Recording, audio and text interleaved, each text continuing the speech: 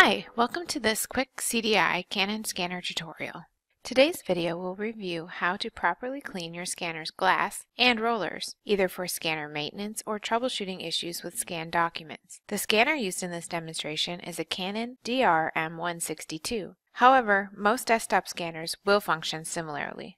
Cleaning the glass and rollers is really very simple. Before we get started, you will need a can of compressed air, a soft, water-damp cloth, thoroughly wrung out, and a soft dry cloth.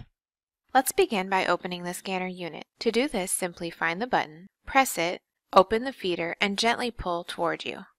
Now that the scanner is open, we can start cleaning the unit. First, use the compressed air to gently blow away any dust or paper particles that may exist inside the unit.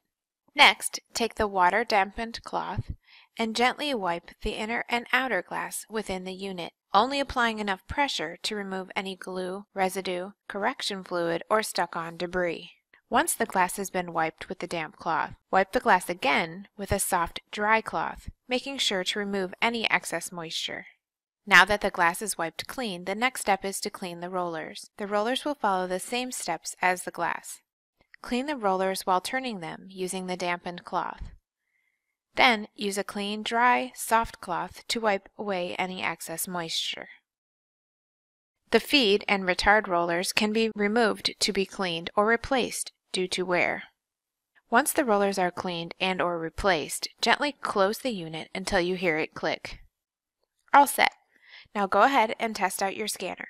If after scanning you are still seeing streaks or lines on your scanned documents, you may have a scratch on the glass. If this is the case, you should contact your scanner service provider.